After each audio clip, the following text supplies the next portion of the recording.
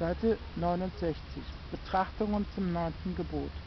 Bevor wir jedoch die volle Löse aussprechen wollen, wird es notwendig sein, noch einige Bemerkungen voranzuschicken, durch welche so manchen juridischen Vielfraßen und übergelehrten Völkerrechtsverkündigern der Mund gestopft werden soll. Denn diese könnten etwa das Besitzrecht vom, vom Sammelrechte ableiten, wodurch sie uns wenigstens scheinbar schlagen könnten. Daher wollen wir uns auch in diesem Punkte verschanzen. Es ist allerdings nicht in Abrede zu stellen, dass jedermann vor dem Nutzungsrecht das Sammelrecht haben muss. Denn bevor sich jemand nicht mit seinen Händen und mit seiner Kraft etwas holt und zubereitet, kann er sein Nutzungsrecht nicht geltend machen. Das ist einmal richtig, bevor jemand einen Apfel in den Mund steckt. Das ist einmal richtig. Bevor jemand einen Apfel in den Mund stecken will, muss er ihn vom Baume oder vom Boden lesen. Für das Sammelrecht hat er ebenfalls mehrere göttliche Urkunden aufzuweisen. Urkunde Nummer 1 sind die Augen. Mit diesen muss er schauen, wo etwas ist. Urkunde Nummer 2 sind die Füße. Mit diesen muss er sich dahin bewegen, wo etwas ist. Urkunde Nummer 3 sind die Hände. Mit denen muss er dahin greifen und nehmen, wo etwas ist. Also laut dieser Urkunde hat der Mensch vom Herrn aus das Sammelrecht als urrechtlich zu seinem unbestreitbaren Eigentum. Könnte man aber hier nicht sagen, ist das Gesammelte dann nicht vollkommen ein Eigentum dessen, der es laut seines göttlichen Sammelrechtes zu seiner Nutzung gesammelt hat? Hat nun ein jeder das Recht, seine Hände oder sein Verlangen danach zu richten, was sich sein Nächster gesammelt hat? Denn offenbar bedingt ein Recht das andere. Habe ich vom Schöpfer aus das natürliche Nutzungsrecht, das im Magen und auf der Haut geschrieben ist, so muss ich auch das Sammelrecht haben, weil ich ohne das Sammelrecht das Nutzungsrecht nicht befriedigen kann. Was nützt mir aber das Sammelrecht, wenn es mir den Bissen nicht sichert, den ich zum Munde führe?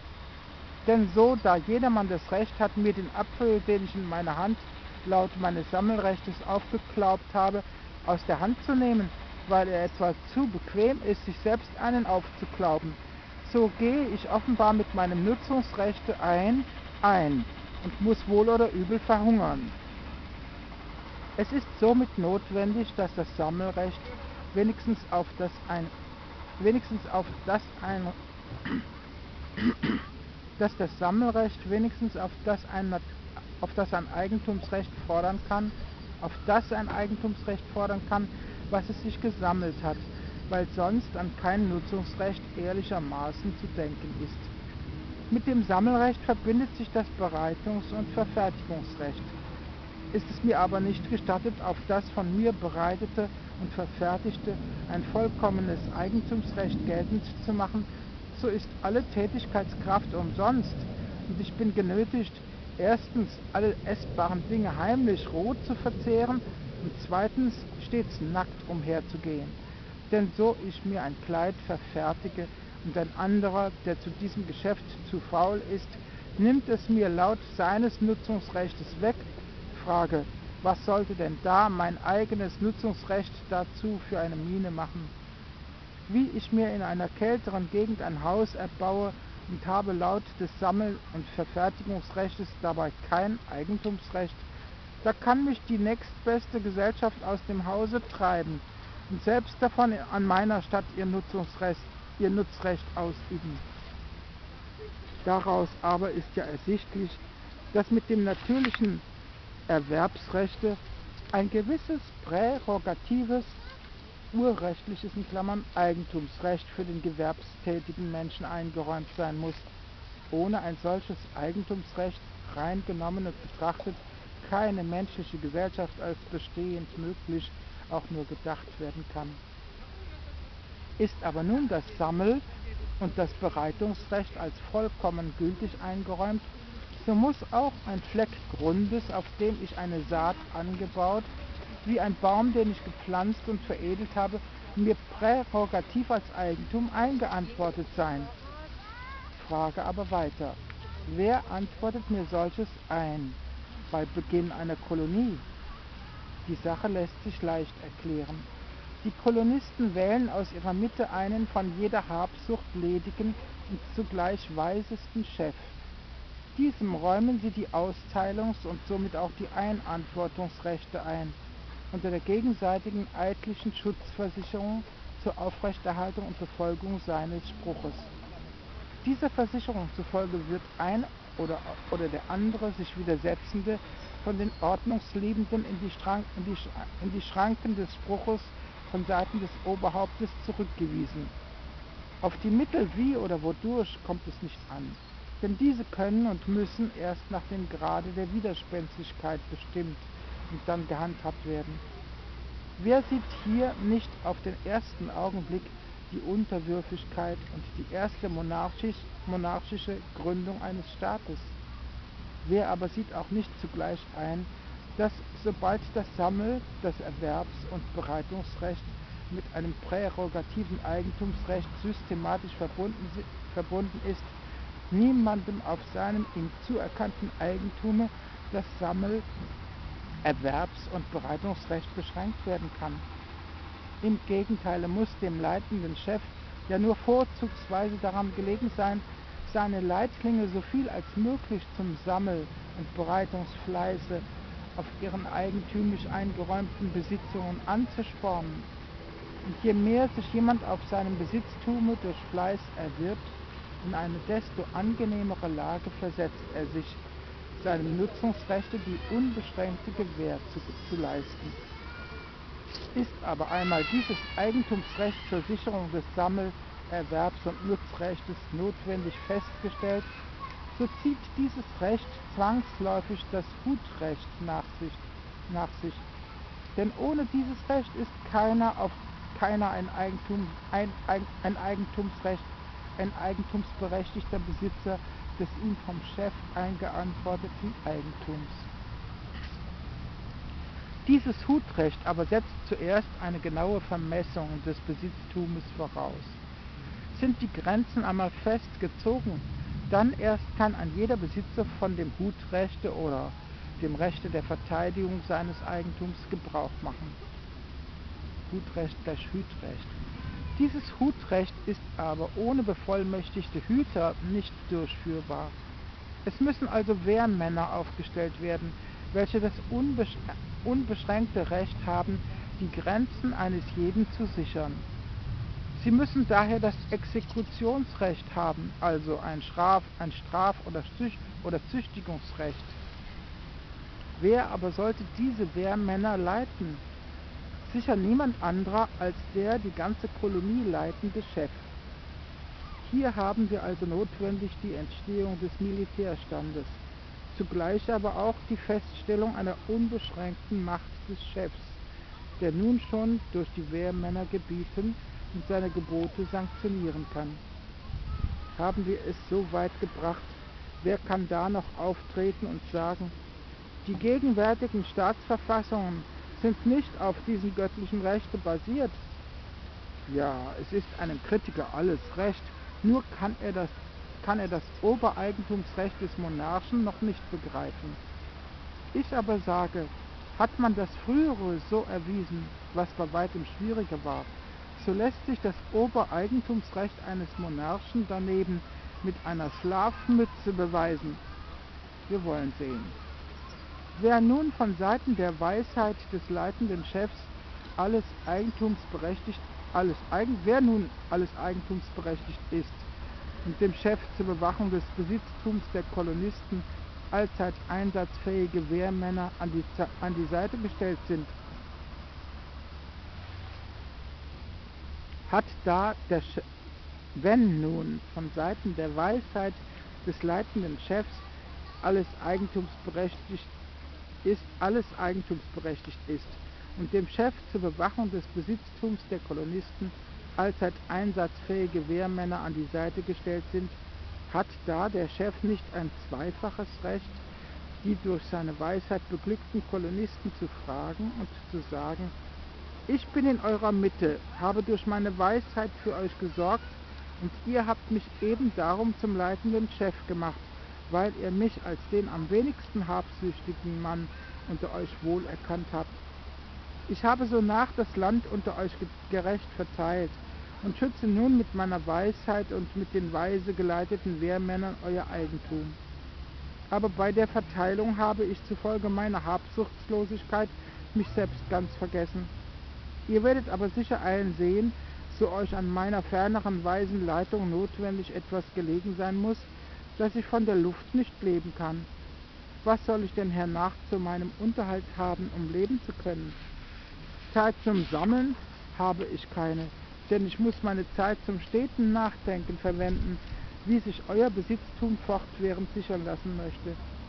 Ihr werdet also einsehen, dass ein treuer Arbeiter auch seines Lohnes wert ist. Daher verordne ich, dass ihr miteinander darüber übereinkommet, mir aus eurem eigentümlich gesicherten Vorrate einen Unterhalt zu verschaffen. Ich kann das von euch mit umso größeren Rechte beanspruchen, als die Erhaltung eures gegenseitigen Eigentumsrechts lediglich von meiner Erhaltung abhängt.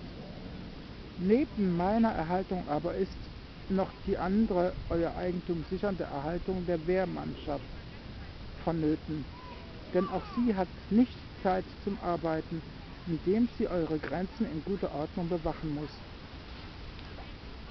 Euer eigenes Heil und Wohl müssen es, auch, müssen es euch so nach vor die Augen stellen, dass ich und die Wachmannschaft euch gegenüber erwerbslos dastehen und dass darum ein jeder aus euch zur festen Gründung seines eigenen Wohles sich zu einer bestimmten Steuerung an mich bequemen müssen. Diese ausgesprochene Forderung erscheint allen Kolonisten vollkommen rechtlich und billig, und sie bequemen sich zur Steuerung. Auf diese Weise hat der leitende Chef schon sein erstes natürliches, wenn schon nicht Ober, so doch Miteigentumsrecht bei allen Kolonisten geltend, geltend gemacht. Zwischen dem Miteigentumsrecht und dem Obereigentumsrecht aber ist eine so kleine Kluft, dass über sie sogar das kleinste Kind dem anderen in den Sack greifen kann.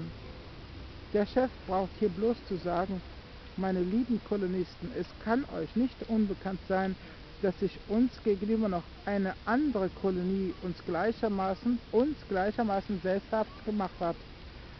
Um uns aber vor ihr zu schützen, müssen, müsstet ihr mir das uneingeschränkte Recht in allem einen antworten, so dass ich im Notfalle als euer Chef gewisse Art als oben Obereigentümer eures Eigentumes dastehe und in einem solchen Falle die Außengrenzen nach meiner weisen Einsicht befestigen kann. Ich muss das Recht haben, in euer aller Namen zu eurem Wohle mit einer fremden Nation, falls sie mächtiger sein sollte als wir, zweckmäßig zu unterhandeln. Ferner müsstet ihr als die meiner Leitung bedürftigen Kolonisten aus dem leicht verständlichen Grunde auch einsehen, dass ich als euer Haupt in eurer Mitte einen festen Ort erbaut haben muss, in dem ich mich vor allem zu eurer Erhaltung notwendig schützen und erhalten kann. Aber es ist zu meiner für euer wohlberechneten Sicherheit nicht genug, dass ihr mir ein Wohnhaus errichtet, sondern um mein Wohnhaus, Wohnhaus her müssen in gerechter Anzahl noch andere Wohnhäuser zur Aufnahme der lediglich von meiner Leitung abhängigen Wehr- und Hutmannschaft errichtet werden. Das heißt mit anderen Worten, Ihr müsst mir in eurer Mitte eine feste Wohnstätte in Klammern (Residenz) erbauen, in welcher ich völlig gesichert bin, sowohl vor fremden als auch vor euren möglicherweise eigenen Angriffen. Wir sehen hier mit klarem Augenlichte, wie der Monarch sich notwendigerweise zum Obereigentümer eines Landes stempelt. Aber das sei nicht hinreichend. Wir wollen noch andere Gründe vernehmen und zwar aus dem Munde des Gründers selbst, denn er spricht ferner, meine lieben Kolonisten, den unumstößlichen Grund für die Errichtung eines festen Wohnplatzes für mich in eurer Mitte habe ich zu eurer Einsicht dargetan. Also hättet ihr den ersten Grund. Höret mich aber weiter an. Das Land ist weit gedehnt, es ist unmöglich, dass ich überall selbst sein kann. Daher will ich mit euch eine Prüfung halten, da, daher will ich mit euch eine Prüfung halten und werde aus, aus euch die Weiseren als meine Amtsführer und Stellvertreter im Lande verteilen. Diesen Stellvertretern ist dann jedermann zu seinem eigenen Wohle denselben Gehorsam schuldig wie mir selbst.